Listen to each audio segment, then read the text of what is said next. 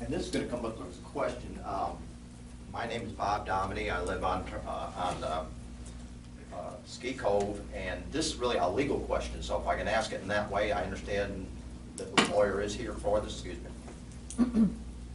Have our county attorney. Yeah, very good, thank you. Um, Is the variance already complete? Do we already have, well, we- can we look at the variance already, or is that completely written now, or is it in process of being written? The variance will have to be voted on that night, it's not written out yet. It is not written, so then what is being voted on? So is it gonna be, we won't be able to see it until it is voted on, is that correct? Well, it, it, there won't be much substance to it, other than the fact that it's gonna be granting the special exception pursuant to the ordinance. to- Okay. To develop as a conventional subdivision. And if that's true, is there gonna be a clause in there that says, and this, like, maybe this is part of what the discussion is for the variance, but will there be allowance for this to be passed on to another developer? In other words, is this exclusive for this plan and for this developer?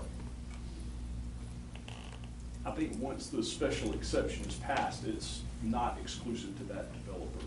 Right, so if this developer then decides that they uh, change their mind, that they can in turn sell it to any developer for any type of uh, conventional subdivision development, is that true? I'll have to confirm that, that's, that's my initial thought. And if that's true, can a variance be amended or have a stipulation in it that that can't be done? So in other words, the- or the variance would say, you know, this is for this developer with this plan, which I, actually is, I, I'm actually warming up to, so for all that, that, that, that's.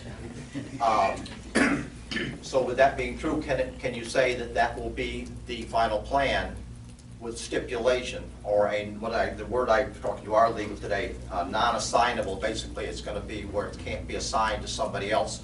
If it then, if this is not the plan, then it would effectively go back to being a conservation subdivision.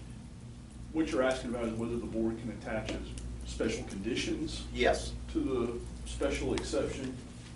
I would have to research that if they were interested in doing it, because a special exception is kind of unique under our zoning ordinances. It's, I mean, Right. it was referred to as a variance, but it, it technically is a special exception in the ordinances. So, I Okay. mean, if that's something that the board was interested in doing, I can find out the answer to that question. okay. I would be curious if I could just ask it in my request, so that's all I had. We pretty much voiced everything last time we were here, so I'm gonna leave it at that. Okay. Thank you.